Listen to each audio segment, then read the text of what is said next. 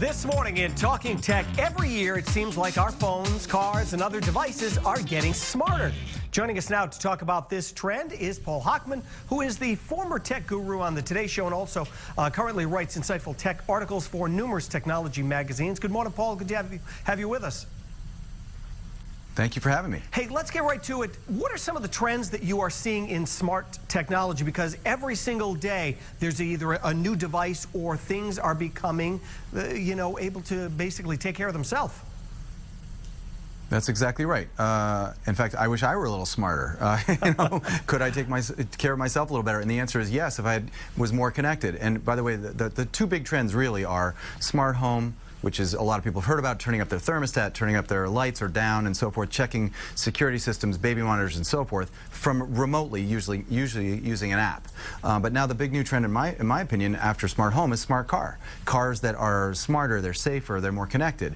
Uh, and there are some devices that let you do that, but uh, that's probably the biggest new trend. And every single day you see these car commercials on TV with the latest and greatest gadget, things that'll make a car stop without you even have to press on the brake. But there's other technology even going into the dashboard connecting your iPhone or your whatever smartphone you have.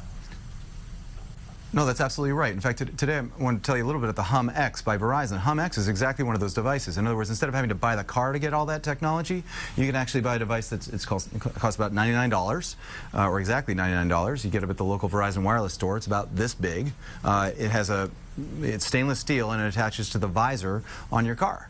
Uh, and so, and what, what that, what's cool about that is there are no wires. It's wireless. It's Bluetooth enabled, um, and it gives you all kind, gathers all kinds of information about the car's health, about your driving uh, habits, about your location, and gives that information to you on a handy, pretty, very easy to read, uh, basically a dashboard that you look at. It's the app dashboard on your smartphone. So all that information flows to you, and now you can uh, you can take much more control over your driving experience. Which is also nice because if you're driving on on the highway, driving into work or wherever you go, and you see people fumbling on their phones every day. So that kind of, does this kind of take that away so that every, everything's kind of in front of them?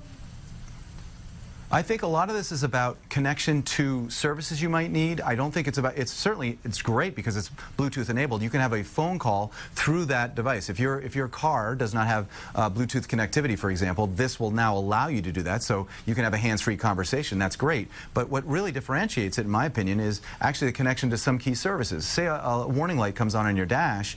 You don't, I don't certainly know a lot about the, the warning lights on my car. I mean, I know that there is a warning light, but I don't know what it indicates. Now, with uh, the, with the Hum X, you press one button uh, on the on the device itself, you're connected with an ASE certified mechanic who knows about your car. So now you can get you can basically reassure yourself that you're okay or that you should pull over. But all of that is uh, a new kind of connection. And the same holds true with safety services. If your car's in an accident, there's automatic accident detection. They call you. If you don't answer, they immediately dispatch uh, safety services. So that kind of connection is very reassuring for a lot of folks. Come a long way from my little Pontiac Fiero that I used to have. Good stuff. Thanks so much, Paul. Great tips for these tech geeks out there like me.